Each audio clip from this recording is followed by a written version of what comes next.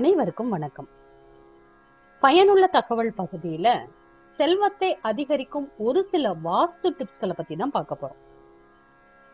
எப்பொழுதுமே ஒரு வீட்டுல செல்வ நிலையானது உயர்ந்தே இருக்க வேண்டும் என்றால் அந்த வீடு வாஸ்து முறையால் கட்டப்பட்டு இருக்க வேண்டும். அப்படி இல்லைன்னா பணப்புழக்கத்துல ஏதாவது ஒரு பிரச்சனை இருந்து கொண்டே இருக்கும். இந்த வாஸ்து தோஷமானது பணத்தை தங்க விடாது. அப்படி நம்ம வீட்டுல ஒரு சில மாற்றங்களை செய்யும் பொழுது நம்ம வீட்டுல பணப்புழக்கம் அதிகரிக்கும். இருக்க வேண்டிய இடத்துல சரியானதை அமைத்தால் கண்டிப்பாக நம்ம வீட்டுல பணப்புழக்கமானது அதிகரிக்கும். பணம் கொட்டும் என்றே சொல்லலாம். குபேரனுடைய திசை எது அப்படின்னு பாத்தீங்கன்னா வடக்கு திசை. இந்த வடக்கு திசையானது எப்பொழுதுமே சுத்தமாக இருக்க வேண்டும். அதே போல ஒரு வீட்டோட நுழைவாயில் எப்பொழுதும் சுத்தமாக இருக்க வேண்டும். ஏன்னா அந்த வழியா தான் லக்ஷ்மி தேவி உள்ளார வர்றதுதான் ஐதீகம். அதனால நுழைவாயிலுக்கு முன்னாடி குழியோ அல்லது சேரும் சகதியுமாகவோ இல்ல கல்லு பெரிய பெரிய கற்கள் போட்டு வச்சிருப்பாங்க. அந்த மாதிரி போடாதீங்க. அதே போல ஏற்ற இறக்கமாகவும் உங்களுடைய தலைவாசலுக்கு முன்னால இருக்கக்கூடாது. அதாவது நுழைவாயிலுக்கு முன்னால இருக்கக்கூடாது. அதை நாம் கவனத்தில் வைத்துக் கொள்ள வேண்டும். அதே போல நம்மளுடைய பணப்பெட்டியை எங்க வைக்கணும்? வடக்கு அல்லது கிழக்கு திசையில தான் வைக்கணும். இப்படி வடக்கு அல்லது கிழக்கு திசையில வைக்கும் போது அந்த வீட்டுல பணமானது கொளிக்கும் பணப்புழக்கம் அதிகரிக்கும். முடிந்தவரை இந்த வடகிழக்கு பகுதியில நம்ம பூஜை அறையை அமைத்துக் கொள்வது மிகவும் நல்லது. ஏன்னா இந்த இடத்துல பூஜை அறை அமைந்தால் அந்த வீட்டுல நேர்மறையான ஆற்றல்கள் அதிகரித்து செல்வ செழிப்பானது உயரும் லக்ஷ்மி கடாட்சம் நிறைந்ததாக அந்த வீடு இருக்கும்.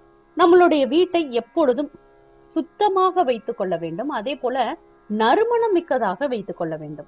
வீட்டுல அழுக்கு துணிகளை போடுவதோ அல்லது துர்நாற்றம் வீசக்கூடிய அளவுக்கு இருந்துச்சுன்னா அந்த இடத்துல செல்வமானது தங்காது.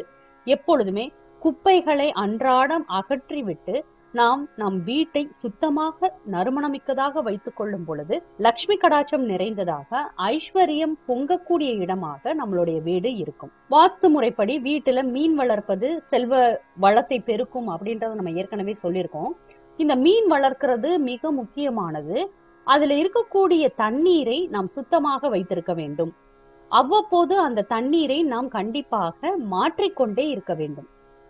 இந்த மீனானது மீன் தொட்டியானது சுத்தமாக இருந்தால் அந்த வீட்டுல நேர்மறை ஆற்றல் அதிகரிக்கும். அது மட்டுமல்லாமல் செல்வமும் அதிகரிக்கும். தினமும் நம்ம வீட்டை கூட்டி சுத்தமா வச்சிருக்கணும். அந்த கூட்டக்கூடிய குப்பைகளை வெளியில தள்ளி அல்லாம நம்ம என்ன செய்யணும்? வீட்டுக்குள்ளாரையே ஒரு முறம் வச்சு அதை அள்ளி நம்ம குப்பை கூடையில போட்டு அதை கொண்டு போய் வெளியில கொட்டணும். இந்த மாதிரி செய்யும் போது வீட்டுக்கு ஏற்படக்கூடிய செலவுகள் குறையும்.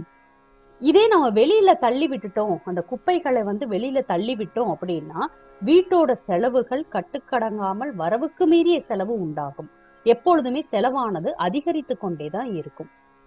அதே போல நம்மளுடைய வீடு சுத்தமாகவும் காற்றோட்டமாகவும் வெளிச்சமாகவும் இருக்க வேண்டும். எந்த ஒரு அறையையுமே நம்ம இருட்டா வச்சிருக்க கூடாது. அப்படி இருட்டா இருந்துச்சுன்னா அந்த இடத்துல எதிர்மறையான ஆற்றல்கள் அதிகரிக்க வாய்ப்பு இருக்கிறது. அதனால எந்த ரூம்ல வெளிச்சம் இல்லையோ அதோட ஜன்னல் கதவுகளை திறந்து விட்டு வெளிச்சத்தை உள்ளார கொண்டு வாங்க.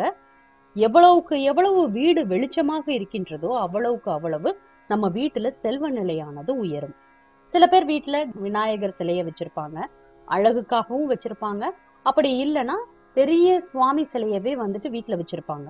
அப்படி வைக்கும் போது நமக்கு ஏற்படக்கூடிய தடைகள் அனைத்தையுமே இந்த விநாயகர் சிலையானது அண்ட விடாமல் நம்மை பாதுகாக்கும்.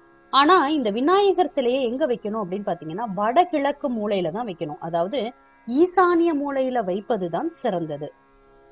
அதே போல வீட்டுல உடைந்த பொருட்களை வைத்திருப்பது நல்லதில்ல. ஒரு உடைந்த கண்ணாடி பொருளோ அல்லது உடைந்த கெடிகாரமோ உடைந்த நாற்காலியோ இந்த மாதிரி இருந்துச்சுன்னா உடனே அதை அகற்றி விடுங்கள். எந்த ஒரு உடைந்த பொருட்களையும் பத்திரப்படுத்தி வீட்டுக்குள் வைக்காதீர்கள். ஏன்னா உடைந்த பொருட்கள் நமக்கு எதிர்மறையான ஆற்றல்களை அதிகப்படுத்தும். செல்வத்தை குறைக்கும். அதனால எந்த ஒரு உடைந்த பொருளையும் வீட்டுக்குள்ளார வச்சிருக்காதீங்க. உடைஞ்சிருச்சுன்னா உடனே அதை தூக்கி போட்டுருங்க. அதுதான் மிகவும் நல்லது. குபேர மூலையான தென்மேற்கு மூலை இந்த இடத்துல பணம் வைத்திருக்கக்கூடிய பீரோவை வடக்கு பார்த்து இந்த தெற்கு மூலையில வச்சோம்னா பணப்புழக்கமானது அதிகரிக்கும். எப்பொழுதுமே அந்த பீரோல பணமானது இருந்து கொண்டே இருக்கும். அதாவது குபேர மூலையில வடக்கு பார்த்து நம்ம பீரோவை வைக்க வேண்டும். குபேர மூலை எது அப்படின்னு பாத்தீங்கன்னா தென்மேற்கு மூலை. அந்த தென்மேற்கு மூலையில வடக்கு நோக்கி நீங்க பீரோவை வைக்க முடிஞ்சிச்சுன்னா அப்படி வச்சீங்கன்னா பணமானது வந்து கொண்டே இருக்கும். மேலும் இது போன்ற தகவலை தெரிஞ்சுக்கிறதுக்கு விறகடுப்பு சேனலை சப்ஸ்கிரைப் பண்ணுங்க ஷேர் பண்ணுங்க. உங்களுடைய கருத்துக்களை எங்களுக்கு பதிவு பண்ணுங்க. நன்றி வணக்கம்.